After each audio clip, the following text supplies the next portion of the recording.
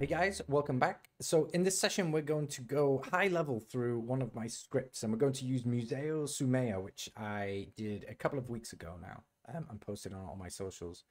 Um, but we're going to go through this script and use it as a way of really developing this idea of computational thinking. And I wanted to really show you a little bit deeper about my process uh, because this is what's important to learn with grasshopper. It's one thing follow along with tutorials. So the actual specifics of how we actually i did this project um, we are we're not going to delve into. We're going to go this is a high level about one how i approached the scripting how i broke um, the problem down into smaller elements and built that back up as a script. And um, maybe well, let's talk about a few of the techniques that go into it and um, you'll see in a second, but I've intentionally left the script, um, um, I'd call it unproduction level.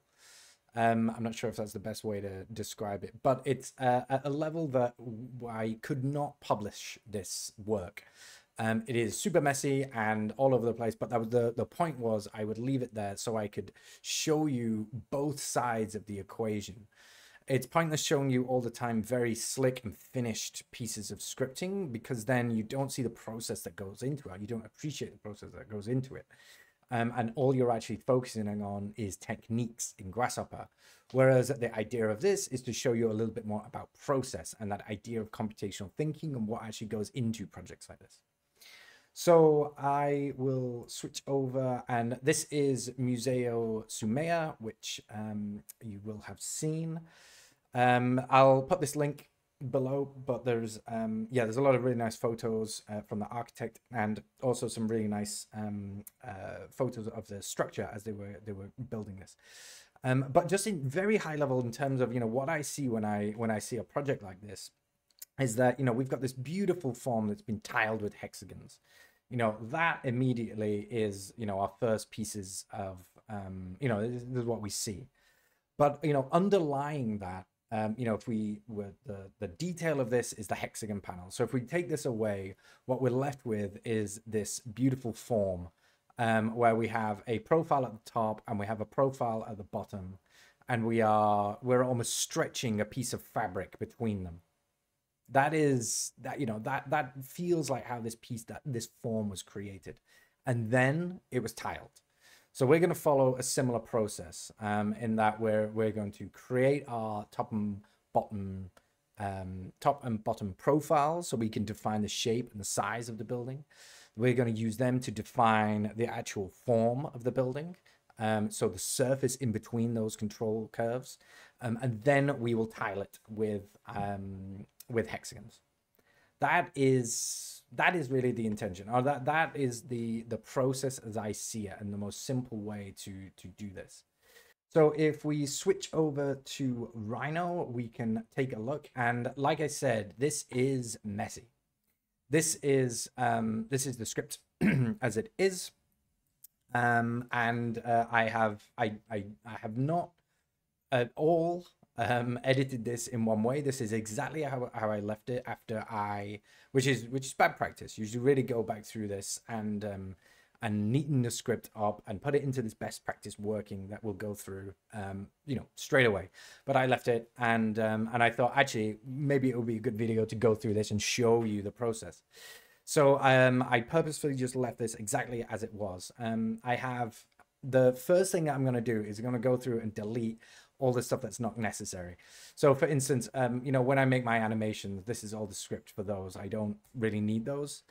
Um, and if we're going through this high level, this is all over the place. Only my mind would know, you know, what all this is. And thankfully I can approximately remember what, what is actually going on.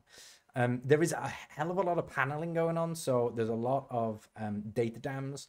And that's why a lot of things are unenabled because I don't want this updating all the time.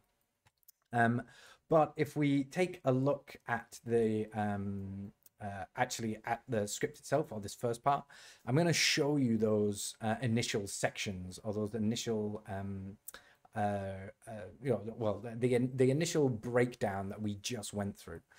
Um, so let me turn off some layers as well.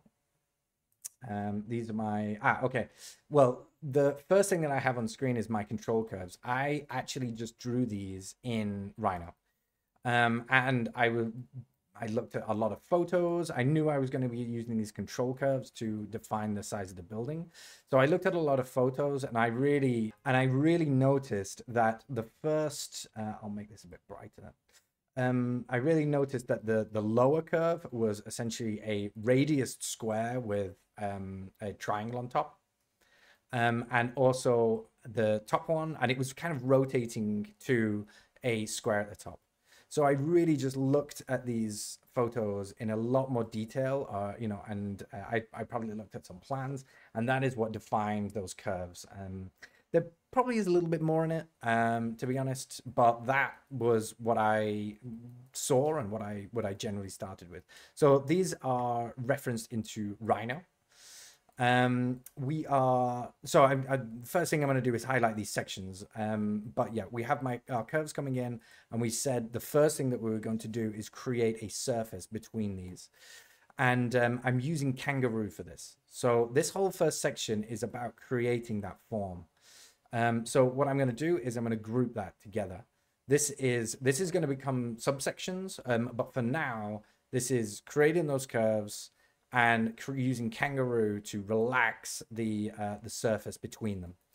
Um, so if I, this is all turned off and it's not going, um, but if I just play this through, you can see that, yeah, we can relax this surface. We can stretch this surface like a fabric between these two curves. That was the idea. And what this does, we're, we're not into hexagons at the moment. What this does is it gives us this beautiful surface to work on. Um, that is uh, that that we can then start to panelize using um, some more processes. So the next part of all of this is um, it is is really what you know is that. Um, however, you'll see there are multiple sections defining um, these uh, you know, how this tiling might work. And actually what these are, are tests. I, this is something to do with planarizing I was looking at and playing around with. So this can go, and I, I know, you know, just from, uh, you know, from memory that this is the actual section that I used. And this is a little bit on the end.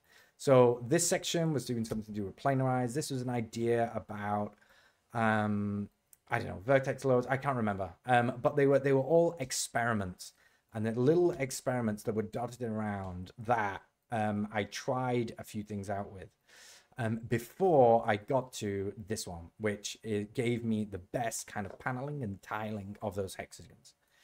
So uh, I have a data dam here. There is some other wires that are all over the place. It's annoying. Um, ah, okay, this section the output from Kangaroo is always going to be a mesh uh, because this is mesh, mesh relaxation. Mesh relaxation. So it's uh, we're going to be taking all these edges and equalizing them. Kangaroo is going to be doing a lot of like functions in the background to be able to, uh, you know, create this. But it's always going to output a mesh. But the the the way I wanted to be able to work with this, I wanted to work with a surface. So I am, I think I'm just sectioning this in a way, and um, Oh, I can play this through. Yeah, I'm sectioning all this uh, to create some curves. I'm aligning them all and creating a surface between them. So I actually have a surface, a NURB surface, rather than a mesh. Uh, so that's what this section is doing. Okay, so we can group that. We know that there's a bit of post-processing on the um, on the Kangaroo script. Uh, and then there is a whole load of um, Kangaroo. Again, this is not a step-by-step walkthrough, um, but what I wanted to do was get a really nice even distribution of hexagons. So all of this section from here is kangaroo. Um, it's my second level of kangaroo. We're using kangaroo to create the surface first, and now we're using it to really nicely distribute those hexagons around. Um, this is some annoying color stuff. We don't need that. I can delete all um, of these.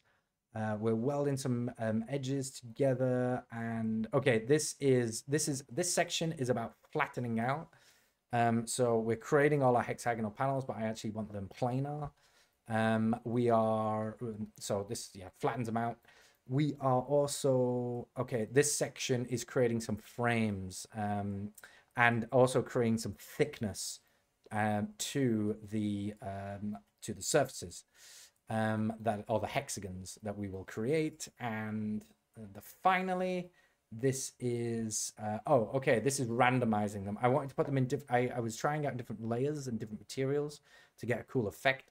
So i'm like randomizing them putting on different layers. So super high level that is the um this is the script. You know we we create our curves or we reference our curves and we create our services using kangaroo we are um, creating a surface from this so we can work with um, work with them. Actually, this surface is not important at this point. It's for something else back here. Ah, uh, okay. So yeah, then we we're using that mesh uh, to then align our hexagons and make our hexagon tiles. Um, I will run this for you. So, but I just need to take the amount down.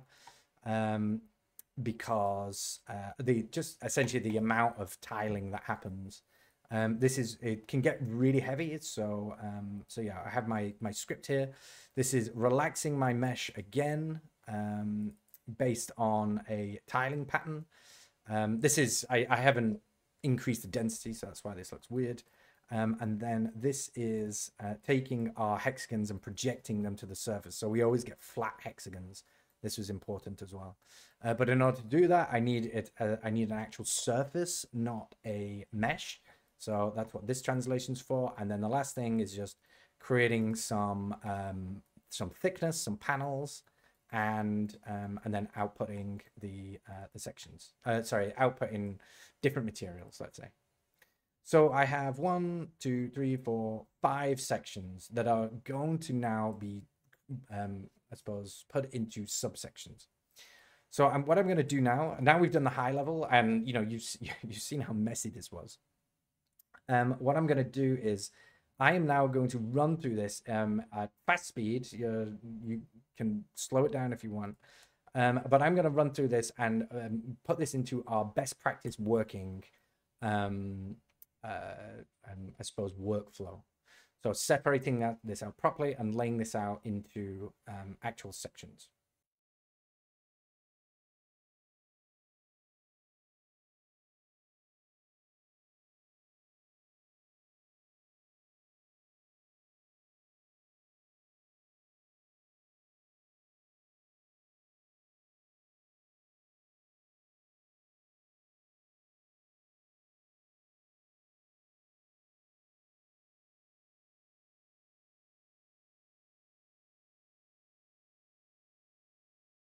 So after all of that cleaning up and organizing, we end up with something like this. And you can really, I hope you can really see the difference in that this is now hyper organized into sections. You know, all those few sections that we went through have now been broken down into subsections. So um, again, at high level, I click, I'll click through this. You know, we have, I always create global parameters. So these are parameters that are going to be um, repeated throughout the script. Um, so, you know, and used in more than one place usually. Um, all things that we're bringing in at the beginning. So we've got upper lower curve. There's a loading point, which uh, is for the first kangaroo. Um, and the weight of that. Uh, we've got panel thicknesses and the density of the whole script of the, the hexagonal paneling. So these are global parameters. They're going to help us in the interim. You know, we've got our initial mesh being created. Um, we have our first set of Kangaroo goals. So uh, Kangaroo works on a series of goals that are um, that are either well they're going to constrain our parameters of our meshes, um, and so we can add lots of these together to be able to create different um, uh, effects and behaviors.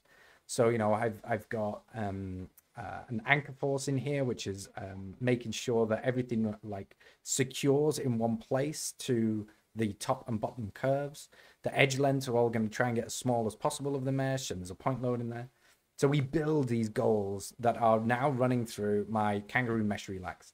So, you know, that we, we just had this as one section, you know, when, when we went through it. Um, but actually there's a lot of subsections into this. And it's a it's an important point to make because, you know, if you if I left my script, you know, in the previous version, super messy, it's very difficult to pick out these sections, you know, and I, I did this a couple of weeks ago, so I'm, it's still fairly fresh in my mind. Um, but if you leave it longer and longer and longer, it just gets it's impossible. And plus, if you're working with colleagues, and you're all working to some sort of standard like this um, that I can teach you in all my memberships and programs, um, it's much easier for to pick up people's work. It's also much easier easier to create, you know, kangaroo goals, you know, version two, and we could do different options and different ideas. You know, uh, our scripts become very um, modular, and we can plug things together and um, and ideate a lot easier with them. Whereas if we leave them messy, not a chance. It's going to be, you know, it'll be messy forever. Um, so yeah, this is our kangaroo mesh. Then we do uh, some uh, base surfacing and some base hexagons. Um, we've got our second kangaroo goals, which is all about um, optimizing the um, optimizing the hexagonal paneling. Um, so this all comes through to here, and this is what sets the density. Then we've got my um, the second kangaroo, which is uh, which is optimizing the hexagons, uh, as I said. So all comes through to here. We create our um, hexagon hexagon outlines. This, in all honesty, could do with this could be done better. Um, I was working through this quite quickly. Um, I you know we could we could get a much more even distribution.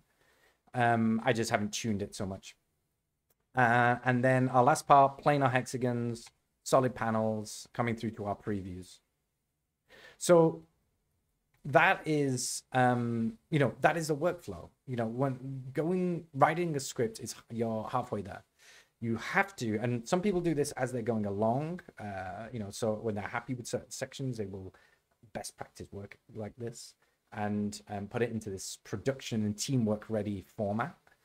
Um others like me i will wait to the end. Um the i would say or, or my opinion is that the messiness of grasshopper is um, the messiness of Grasshopper is a feature.